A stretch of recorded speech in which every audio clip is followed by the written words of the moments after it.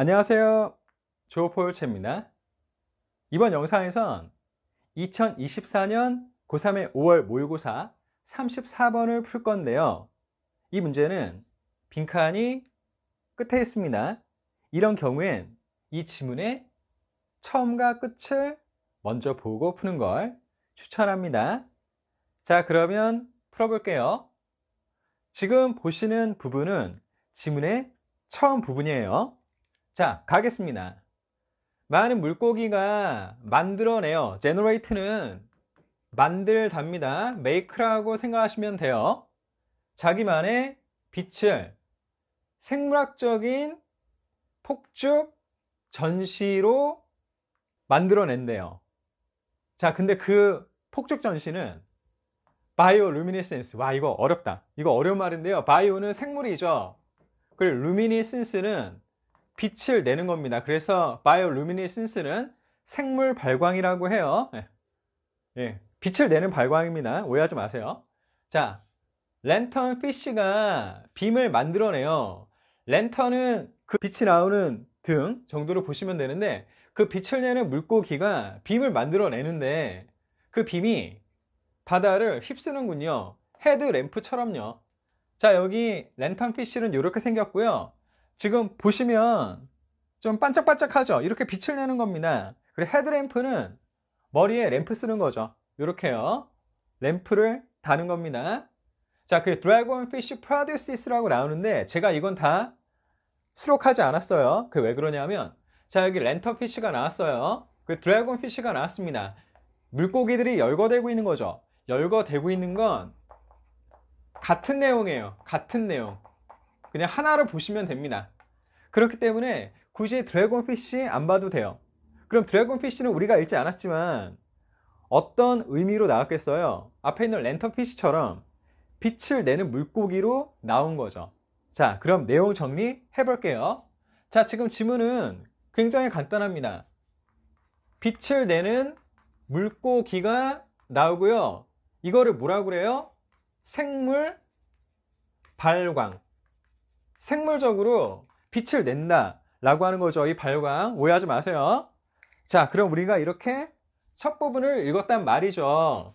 이렇게 첫 부분을 읽었으면 이 내용을 갖고 끝으로 가야 되는 거예요. 자, 그냥 끝으로 가는 게 아니고 처음 읽은 부분의 내용을 갖고 가라 그랬죠. 이렇게 봐야 되는 겁니다. 자, 그럼 우리가 끝부분을 볼 때 어떻게 가야 돼요? 아, 빛을 내는 물고기가 있구나. 그런데, 그래서 이런 느낌으로 가셔야 되는 겁니다. 자, 그러면 계속 갈게요. 그것이 같은 개념을 사용하는데요. 미 해군이 2차 대전 동안 개발했던 같은 개념을 사용한대요. 근데 미 해군은 그걸 왜 썼냐면 폭격기가 폭격기가 보이는 걸 어렵게 만들기 위해서 썼다는군요. 여기서 그것을 우리는 아직은 모릅니다. 왜냐하면 가운데 부분을 읽지 않았으니까. 그렇지만 여기는 it은 빛을 내는 물고기겠죠. 그 정도로 알아두시면 돼요. 자, just as 나오고 콤마 나오고 뒤에 주어 동사가 있으니까 여기서 끊어주죠. 예후디 프로젝트가 날개 아랫부분에 스포트라이트를 갖춘 비행기를 고안했던 것처럼. 자 예우디 프로젝트는요 아 지금 우리는 끝부분을 읽고 있는 거고요. 지금 화면 좀 보이시나요? 비행기 날개 아래에 빛이 있죠. 이게 프로젝트 Yehudi Yehudi plane이라고 그래요.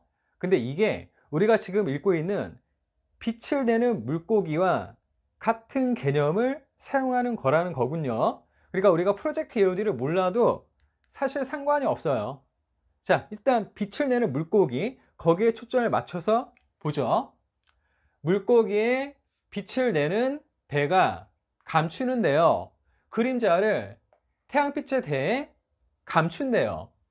그것을 숨기기 위해서 아래에서 살펴보는 눈들로부터 그러니까 물고기가 뭐 바다 여기저기서 막 다니겠죠. 다니는데 그 그림자를 보고 아래쪽에서 자기를 발견해요. 그러면 잡아 먹힐 수도 있겠죠. 그런 얘기인 것 같습니다. 자, 이 물고기가 물고기를 잡아먹는 먹는 세계에서 생존이라고 하는 건 빈칸입니다. 자, 내용 정리해보죠. 지금 우리는 지문의 끝부분을 보고 있는 거예요. 끝이니까 여기 아래쪽에 쓰겠습니다. 역시 빛을 내는 물고기가 나와야 되겠죠. 근데 이 빛을 내는 물고기는 이 빛을 어디에 사용해요? 숨다, 숨기 위해서 사용하는 거죠. 그럼 이거는 결국 생존은 뭐뭐다 라는 내용에 들어가는 거네요. 자, 그럼 우리가 지문의 처음과 끝부분만 읽었습니다. 사실 분량으로 보면 그렇게 많은 부분을 읽은 건 아니에요. 그래도 우리가 문제풀이를 해볼 수 있죠. 그럼 여기서 문제풀이를 위한 키워드를 한번 꼽아봐요. 뭐가 나옵니까? 빛을 내는 물고기 나와야죠. 그리고 그 빛을 왜 사용해요? 살아남기 위해서 survival, 생존을 위해서 사용하는 거죠. 그러면 그 내용이 있는 선지를 찾아봅니다. 자, 1번 봐요. 아, 여기 봐야죠. 물고기가 물고기를 잡아먹는 세계에서 생존은 의사소통에 달려 있습니다. 같은 종 안에서. 지금 의사소통 얘기는 안 나왔죠. 그리고 같은 종끼리 잡아먹겠어요? 그거는 아니지 않을까요? 그러니까 이상하네요. 자, 2번. 숨바꼭질 게임인데요. 시각을 우선시하는 게임이래요. 여기 있는 시각이라고 하는 건 빛하고 상관 있죠. 그리고 아까 끝부분에서 watching eyes below란 표현이 있었잖아요. 그러니까 이거는 빛하고 상관이 있는 거네요. 자, 그리고 3번이요. 능력에 달려 있는데요. 아, 생존이 능력에 달려 있는데요. 음파의 미묘한 움직임을 파악하는 능력에 달려 있다고 합니다. 댄스가 춤이긴 한데 음파가 이렇게 막 움직이는 게 춤처럼 보이는 거죠. 그러니까 저는 여기서 움직임이라고 해석을 하겠습니다. 일단 음파라고 하는 건 청각이잖아요. 청각. 그러니까 이거 이상하네요. 자, 그리고 4번요. 모방하는 경쟁인데 다른 종들의 여기는 일루미네이션은 빛 정도로 보는 게 낫겠죠. 빛을 모방하는 경쟁이라고 합니다. 일단 빛이 나왔네요. 요거는 뭐 나쁘지 않다고 생각을 합니다. 근데 요게 좀 걸리긴 합니다. 모방한다. 이게 좀 걸리긴 하지만 엄연히 빛이 나왔으니까 세모 표시 정도는 할게요. 자, 5번요. 와, 전쟁입니다. 생존은 전쟁이죠. 뭐 부정하고 싶지가 않네요. 완벽한 사실도 아니지만 살아간다는 건 쉬운 건 아니죠. 어, 뭐 즐거운 면도 있습니다만. 자, 문제풀이로 갈게요. 생존은 전쟁인데 더 넓은 시야가 먹이를 잡는 더 좋은 기회를 의미하는 어, 전쟁이래요. 일단 보다란 내용이 나왔네요. 그리고 먹이 잡는 얘기도 나왔고 뭐 이거 나쁘지 않습니다. 예, 이 정도로 우리가 정돈을 했어요. 자 여기서 중요한 건 뭐냐면 우리가 처음과 끝만 본 거예요. 처음과 끝만 보고 지문의 내용을 정리를 한 다음에 그걸 근거로 선지를 걸러냈죠. 이게 중요한 겁니다. 아니 어떻게 일부만 보고 100%다 풀 수 있겠어요. 저는 그걸 말하는 게 아니에요. 저는요 정확하고 빠르게 푸는 방법을 말씀드리는 겁니다. 그래서 여러분이 제가 알려드리는 방식으로 문제를 풀 땐 아, 이렇게 하면은 선지를 걸러낼 수 있구나. 그러니까 더 빨리 읽을 수 있구나. 정도로 생각하시는 게 사실은 맞습니다. 자, 이렇게 살펴보시고요. 자, 지문 들어갈 건데, 들어가기 전에 제가 까먹을 것 같아서 이렇게 분무기로 뿌려보겠습니다. 지금 물이 다 떨어져가지고 잘 안 지워지더라고요. 자, 그러면 우리가 어딜 읽어요? 안 읽은 나머지 부분을 보는 거죠. 우리가 처음 하고 끝 되게 조금 읽었네요. 그래도 문제를 한번 풀었네요. 이 상태에서 나머지 부분을 보면 더 빨리, 더 정확하게 문제를 풀 수가 있겠죠. 자, 나머지 부분입니다. dragon fish는 말 그대로 용 생선이죠. 용 물고기? 그냥 dragon fish라고 하겠습니다. dragon fish가 파동을 만들어내요. 근데 그 파동은 그것만이 볼 수 있는 파동이죠. 드래곤 피쉬만 볼 수 있는 파동이래요.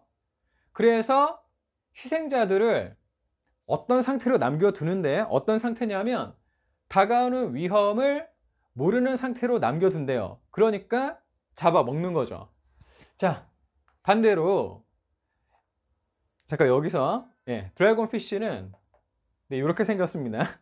무섭게 생겼죠. 자, 계속 해석할게요. 이 드래곤 피쉬와는 대조적으로 아귀가 바라는데요. 자기 먹이가 알아차려서 유혹되기를 바란대요. 그것에 막대와 같은 빛을 내는 수염을 향해서요. 그리고 그 내용을 자세히 설명하는데 그것에 흉폭한 턱이 숨겨진 상태로 남겨 있죠. 그림자 안에서. 이거 요 그림으로 보시면 분명히 알 수 있어요. 어떻게 되겠습니까? 요 윗부분에 막대 모양의 빛이 있죠. 요 빛을 보고 물고기들이 다가오는 거예요. 그런데 이 빛 때문에 자기의 이 사나운 사나운 턱이 보이지 않는 겁니다. 요 그림으로 이해하시면 돼요. 그래서 여기까지 오면 잡아먹는 거죠. 계속 잡아먹는 얘기만 나오네요. 자, 내용 정리해 볼게요. 내용 되게 간단합니다. 어, 제가 정리하면 아까 사례로 랜턴 피쉬가 나왔죠. 그리고 지금 읽은 부분에선 드래곤 피쉬하고 앵글러 피쉬가 나왔네요. 근데 얘네들이 다 하는 게 뭡니까? 빛을 내는 물고기죠. 이것들을 사용해서 살아가는 거죠. 서바이벌 하고 있는 겁니다. 자, 그러면 이렇게 내용을 정리했고 이제 다음으로 가야죠. 다음에 무슨 내용이 나오겠어요? 빛을 내는 물고기 얘기를 하겠죠. 근데 지금 우리가 보니까 계속 물고기들이 열거되고 있어요. 제 생각에는 또 다른 물고기가 나올 것 같습니다. 글의 구조상 또 다른 물고기가 나올 것 같아요. 자, 그러면 보죠. 아, 네. 바벌. 물고기의 수염입니다. 아까 놓쳤는데요. 이해해 주시고요. 바벌. 물고기의 수염. 자, 다음 가겠습니다. 생물 발광이 또한 사용되는데요. 포식자들을 좌절시키기 위해서요. 물리치기 위해서 사용되기도 하는군요.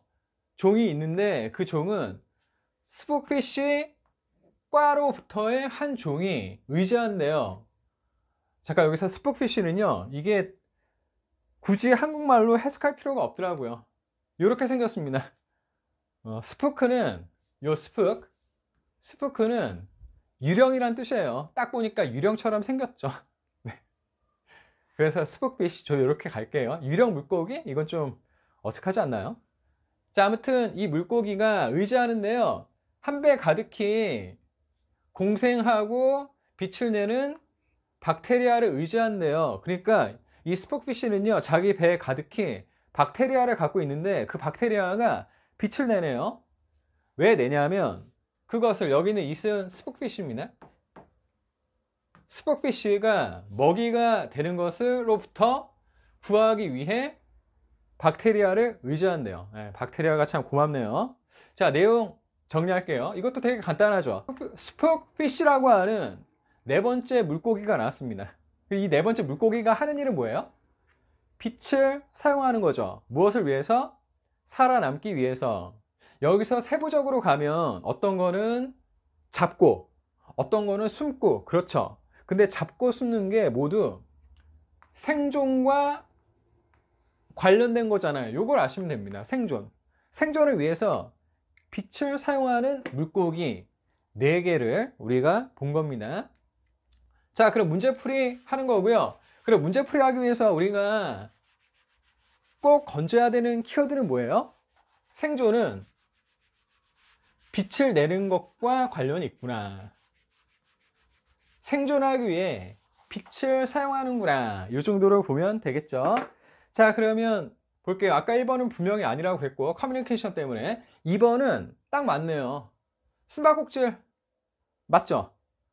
어떤 물고기들은 잡고, 마치 그게 술래가 어, 잡는 것과 똑같은 거죠. 또 어떤 물고기는 숨고 숨바꼭질이고 빛을 낸다는 건 보느냐 보이느냐와 관계가 있는 거죠. 그러니까 시각 을 우선시하는 숨바꼭질 게임이다. 맞습니다. 자, 3번은요. 뭐 음파 이것 때문에 아니라고 그랬었고 일단 2번 아까 맞다고 그랬죠? 자, 4번은요. 다른 종들의 빛을 흉내내는 게 아니잖아요. 그러니까 아니네요, 이거. 자, 5번은요. 더 많이 본다는 게 먹이를 잡는다. 보는 게 아니죠. 그럼 맨 마지막에 나왔던 spookfish는 자기가 보는 게 아니라 보이지 않으려고 하는 거잖아요. 그러니까 wide vision이 틀렸네요. 네. 참 선지 잘 만들었습니다. 그렇게 생각합니다. 자, 답은 2번이고요. 네, 여기 화면에 제가 이렇게 등장한 물고기들을 이렇게 띄워놨으니까 한번 살펴보시죠. 이 이미지들은 제가 블로그에 또 올려놨습니다. 블로그는 영상 소개글에 제가 링크 올렸고요. 살펴보시면 되겠어요. 그냥 재미삼아 보세요. 이렇게 생겼다고 합니다. 아 그런데 요건 있다. 스포크피쉬나 드래곤피쉬나 앵글러피쉬 있죠. 얘네들은 좀 그 구조상 어렵습니다. 근데 지금 5월 모의고사에서 물고기 얘기가 나왔잖아요. 그럼 물고기를 다룬 지문이 또 등장할 가능성이 있는 거죠. 제가 검색을 해보니까 스포크피쉬에 대한 글들이 되게 많더라고요. 내용 보니까 어려워요. 그러니까 여러분이 이번 문제 풀이로 그냥 끝내는 게 아니고 여기에 등장했던 물고기들이 아 이렇구나 정도는 그 내용을 알아두시면 혹시 다음 문제 풀 때 또 이 물고기 또는 이 물고기와 생존 방식이 비슷한 물고기들이 나올 때 그 내용을 이해하고 문제 풀이를 하는 게 훨씬 좋습니다. 도움이 돼요. 그러니까 여러분이 그냥 재미삼아만 보지 마시고요. 좀 재미도 느끼시면서 다음 시험의 문제 풀이를 위해서 배경 지식을 갖추는 차원에서 보셔도 되겠어요. 자, 그러면 아, 요거 프로젝트 예우디. 여기 지금 날개 아랫부분에 빛이 달려 있는 겁니다. 근데 이 빛이 달려 있는 게 스포피쉬가 배에 빛이 있는 것과 같은 원리라는 거죠. 이것도 알아두시면 좋겠어요. 자, 화면 멈추고 이 지문을 한번 쭉 살펴보세요. 그 빈칸에 원래 있던 어구가 있는 상태로 지문을 보시면요. 어떻게 문제풀이가 되는지를 아실 수 있습니다. 제가 추천하는 방식이에요. 그리고요. 읽으시면서 어디가 빈칸의 근거가 되는지도 한번 생각해 보세요. 어, 제가 이 지문을 보여드린 다음에 이제 빈칸의 근거가 되는 부분만 따로 모아서 또 말씀을 드릴 거예요. 네. 이제 다시 한번 근거를 살펴보는 겁니다. 제가 여기저기 모아놨어요. 첫 문장은 물고기가 빛을 낸다는 얘기가 나왔고 랜턴피쉬, 드래곤피쉬, 그리고 스포크피쉬의 사례가 이렇게 쭉 나왔죠. 근데 이 각각의 물고기가 하는 걸 보니까 숨바꼭질이죠. 어떤 물고기는 잡고 어떤 물고기는 숨고 이게 숨바꼭질인 거죠. 그리고 빛을 낸다는 건 그 물고기가 보느냐 또는 다른 물고기들한테 보이지 않느냐에 관한 거니까 그 내용이 이 시각과 관계가 있는 거죠. 그래서 A game of hide and seek that prioritizes the sense of sight가 답이 되는 거예요. 자, 여기 오답들 보시면요. 다시 한번 짚어보겠습니다. 선지 1번은 의사소통이 틀렸고요. 3번은 시각과 상관없는 음파가 나온 게 틀렸고요. 4번은요. 다른 종들의 빛을 따라하는 게 아니죠. 그러니까 틀렸고요. 자, 5번은요. 더 넓게 보는 게 아니죠. 예, 빛을 사용해서 보느냐, 보이지 않느냐. 이겁니다, 이거. 그래서 오답들이 되는 거예요. 자, 이렇게 문제를 다 풀어봤습니다. 제가 마무리로 말씀드릴게요. 이렇게 수능 영어 빈칸 문제에서 그 빈칸이 지문의 끝에 있는 경우는요, 그 지문의 처음과 끝을 먼저 보는 걸 추천합니다. 그 이유는 지문의 중요한 내용이 이 처음과 끝에 담겨 있는 경우가 많기 때문에 그래요. 꼭 명심하시고요. 이런 식으로 풀면 여러분이 더 정확하고 더 빠르게 풀 수 있습니다. 제가 계속 강조하는 풀이법입니다. 자, 어려운 지문을 함께 끝까지 푸시느라 애 많이 쓰셨어요. 계속 응원할게요. 응원합니다. 화이팅! 더 좋은 수업, 더 좋은 세상. 언어를 넘은 치유. 이 꿈에 함께 하셔서 감사드립니다. 그럼 행복하세요. 다음에 또 만나요.